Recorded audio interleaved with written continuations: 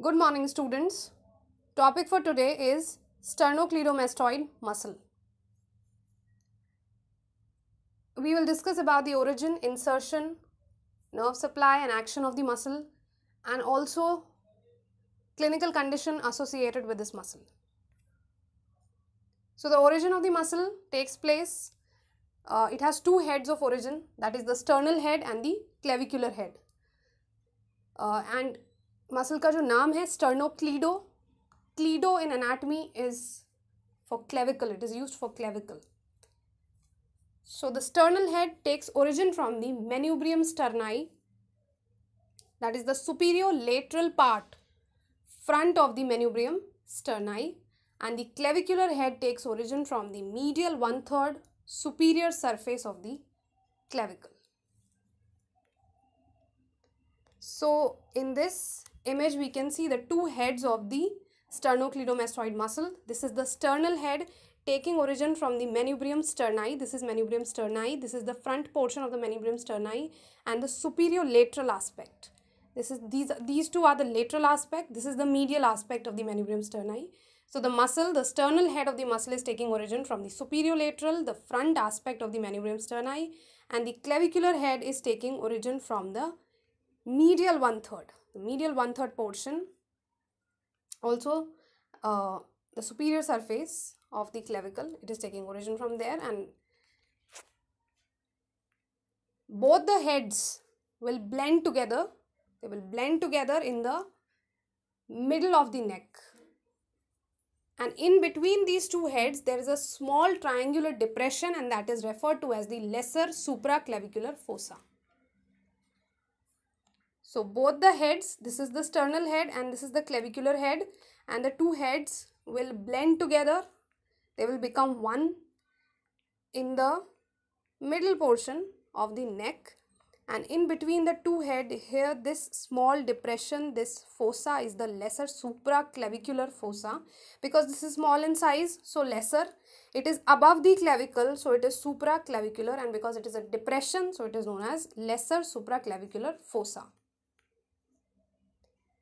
insertion of the sternocleidomastoid so जो mastoid है, वो इसका इंसर्शन का पार्ट है। Insertion is in two forms one is with the help of a thick tendon और वो थिक टेंडन जाके इंसर्ट होता है into the mastoid process and the lateral surface of the mastoid process from tip to the superior border so, this here is the mastoid process. Just be behind the external acoustic meatus is the mastoid process and this muscle with the help of a thick tendon it gets inserted into the tip of the mastoid process and the lateral surface of the mastoid process.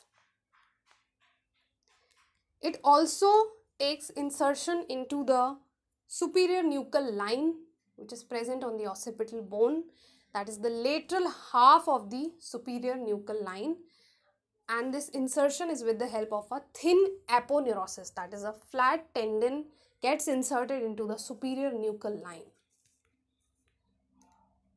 So this is the insertion, this is this is sternocleidomastoid, the origin as well as the insertion. This behind the external acoustic is the mastoid process.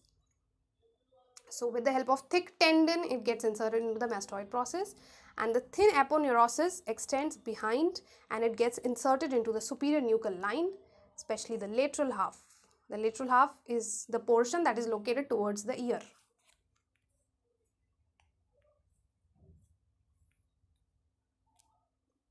Nerve supply of the muscle is the motor nerve supplies by the spinal accessory nerve and it also receives branches from the ventral rami of C2 and C3 that are responsible for the proprioception. The arteries supplying this muscle are the superior thyroid artery, suprascapular artery and the occipital artery.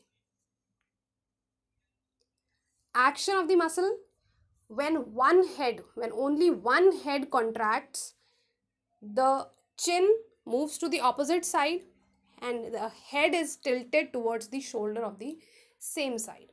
So head bend hota hai towards the shoulder of the same side and chin moves to the opposite side. Exactly जैसा इस image में आप देख सकते हो this is the action of the स्टर्नोक्लिडोमेस्टॉइड when the one head contracts when both the head contracts it draws the head forwards as in eating and lifting the head from pillow तो pillow से जब हम head को lift करते हैं that action is performed when both the heads of the sternocleidomastoid move together contract together and the head is also drawn forward in the movement during eating with other muscle of the back that is the longest colli muscle which is one of the deep muscles of the back it will flex that against flexion. So it is responsible for the flexion of the neck and it also plays role in forced inspiration.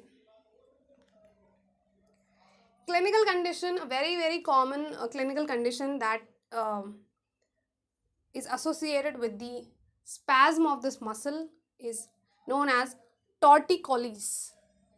Tortuous means twisted and collum in anatomy is used for neck so a twisted neck is what torticollis is.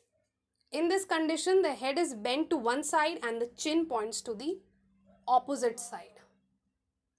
And there's great stiffness, pain, uh, the movement is limited, restricted, and there is excessive pain. This condition is caused because of the spasm of the sternocleidomastoid muscle which is supplied by the spinal accessory nerve. So, one muscle is the sternocleido, other is trapezius. Trapezius is also one of the muscles of the back so both these muscles will eventually the spasm in these muscles will lead to the condition that is known as torticollis. So there are three types of torticollis and these types are basically it depend on the cause of the torticollis. So if torticollis is due to the exposure to cold air or draft of cold air that kind of torticollis is known as rheumatic torticollis. Reflex torticollis, if there are, if there is infection in the cervical lymph nodes, if there is suppuration, pus formation in the cervical lymph nodes that can in, irritate the spinal accessory nerve that supplies these muscles and eventually it leads to torticollis. So it is reflex torticollis. Secondary to infection of the cervical lymph nodes. Congenital is due to birth injuries. So that would be congenital torticollis. So that's it. That's all about sternocleidomastoid muscle. Thank you so much.